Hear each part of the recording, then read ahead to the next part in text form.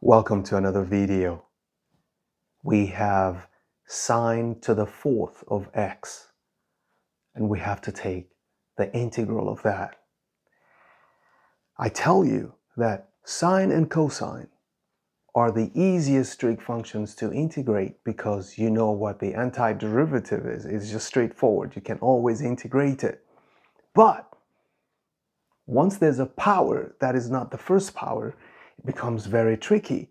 Now, the higher the power, especially if it's an even power like the one we have, the trickier it gets. So, what must you know to be able to do this? Well, all the techniques of integration like U substitution would not work because you're isolated. Remember, U substitution for trig functions will require that there's another function but here it's just sine. There's no cosine. So trig U substitution is not going to help. Integration by parts might help partially, but not fully. Um, what else do you want to do? Uh, whatever you want to do, it's always good for you to go back to your trig class and dust up your notebook and recall many of those trig identities because that's the only way out of this kind of problem. So the beginning of this video will be the most important part of the video. The rest of it, you'll be able to survive. Let's get into the video.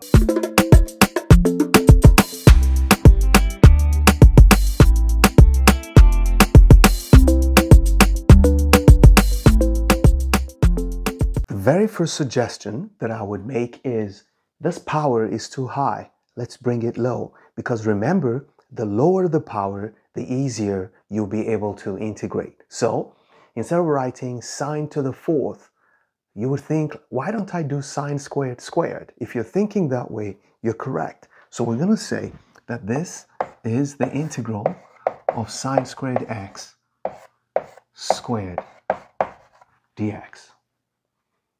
Okay, so now you're going to say, can I do u substitution? Remember, don't do u substitution unless there's another there's cosine besides sine. If there's no cosine, u substitution is not going to help you because the derivative of sine is going to generate a cosine and you can't get rid of it. So what you want to do is do something that can bring in cosine into the picture. So we're going to say that this is the integral of sine squared x times sine squared x. You see that? And I don't need the parentheses, but I just wanted you to see what we're dealing with.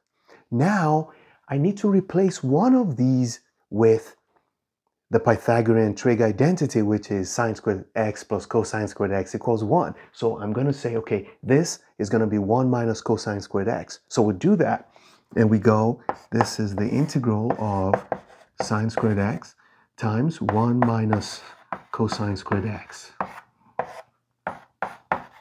dx.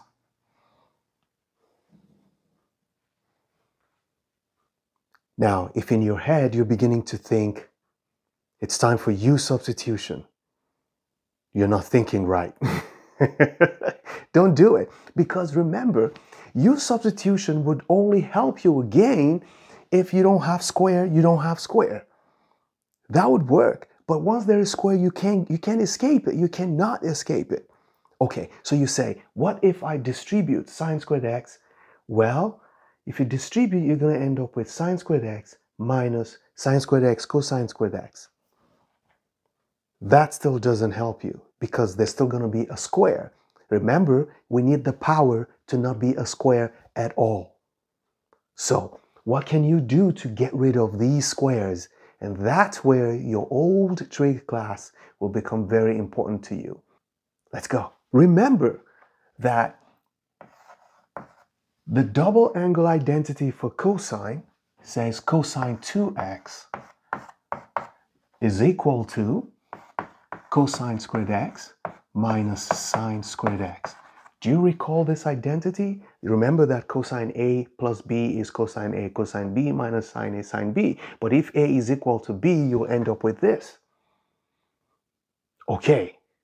Now, if you have this, have this memorized. The difference of two squares of cosine and sine will give you cosine 2x.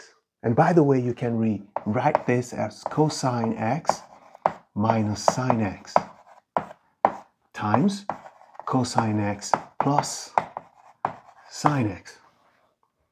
Keep this in mind because this might become very helpful someday. Okay, there's another way you can write this expression. If you replace cosine squared x with 1 minus sine squared x, the Pythagorean trig identity, replace this, you're going to have everything only in terms of sine squared x. And what you're going to end up with is this is going to be 1 minus 2 sine squared x. That's another identity you can use. In fact, this is what we're going to use to replace this guy. Then we get rid of the square. That's where we're going. And you can also go and say, instead of replacing this with 1 minus sine squared x, I'm going to replace this with 1 minus cosine squared x. And you end up with 2 cosine squared x minus 1. So that ultimately, this is what you're going to end up with. If you use this equation and you isolate sine squared x, you're going to end up saying sine squared x is equal to 1 half of, see, it's going to be 1 minus cosine 2x. That's what you're going to get using these two in an equation. Now, if you choose to use these two, because we need these two also to replace this guy, you're going to end up with cosine squared x equals 1 half of 1 plus cosine 2x. See, if you move this one away here, it's going to add to this and you divide it by 2. That's what we have. So you need to have this in your head. Everything you see on the board here, if you're taking calculus, you want to have everything in your head. In your head. Okay, so let's go back here and replace this and this with these two formulas that we have. It's going to look a little bit messy, but it's going to clean itself up nicely. So here we go. So this is equal to the integral of, I'm going to write this instead. It's going to be 1 half of 1 minus cosine 2x. And here I'm going to have 1 minus, what's here? Well, this is 1 half of 1 plus cosine 2x. To make life easy, I'm going to distribute this now. So it's going to be 1 half plus cosine 2x over 2. Mm -hmm. I'm just going to make it 1 half. It doesn't matter, okay? So I'm going to write it as 1 half. Okay, I'm going to distribute this minus sign. So this minus sign is going to go in here and give you minus cosine 2x over 2. Close it and leave room for dx. Because we're multiplying, I can move this 1 half to the back and I can simplify what's in here. Let's see what it looks like. So we're going to have the integral 1 half. So I'm pulling this to the back. Then I have the integral of 1 minus cosine 2x. And in here, 1 minus 1 half is going to be 1 half. So I have 1 half minus, actually I'm going to write this as 1 half again, 1 half of cosine 2x.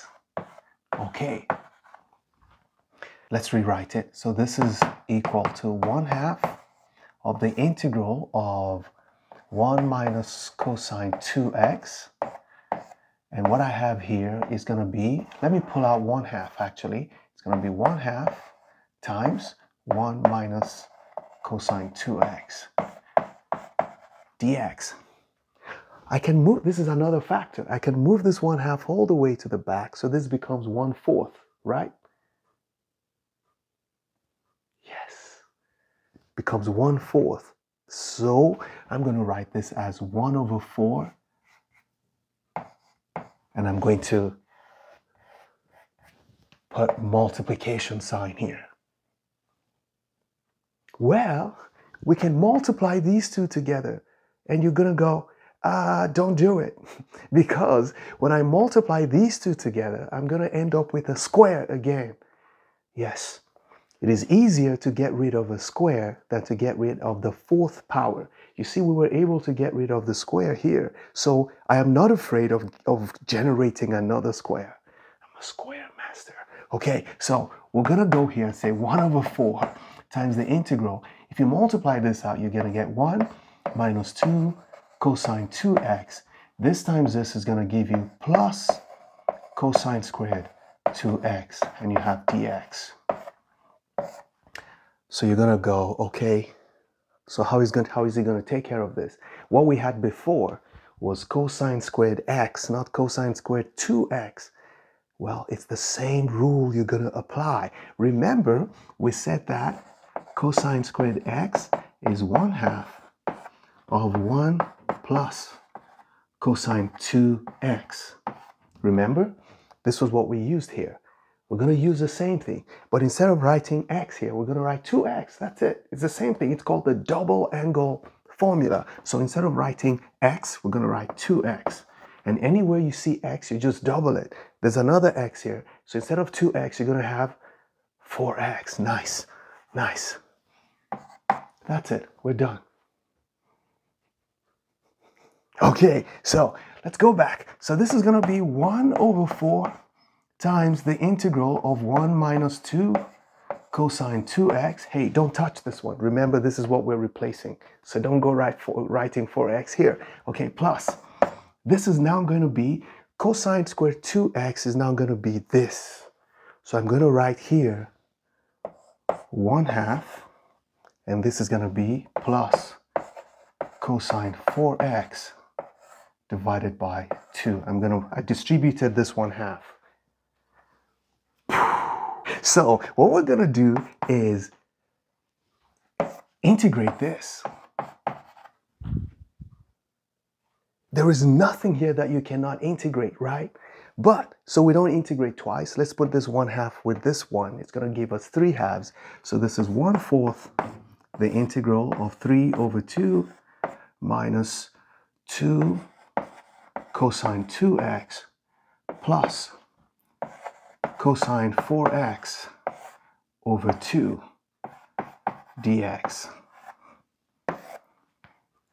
Now, is there anyone who does not know how to integrate this? Nobody. Don't say it if you don't. Okay, here we go. If we integrate a constant, what do we get? We introduce the variable. So this is 1 over 4 times, this is going to be 3 halves of x minus, if we integrate cosine, we get sine, not negative sine, okay, sine. So cosine 2x, the integral will be, or the antiderivative will be, sine 2x divided by the derivative of the argument, which is divided by 2. So if we divide this by 2, it's going to cancel this too. So what we end up with is just sine 2x. Nice. We go here. If we integrate cosine 4x, we're going to get sine 4x divided by 4. But there's a 2 already, so it becomes we're dividing by 8. So this is going to be plus sine 4x divided by 8. Nice. Ah. And everybody deserves a good cup of coffee. Let's do it. That's your coffee. And never stop learning because those who stop learning stop living. Bye bye.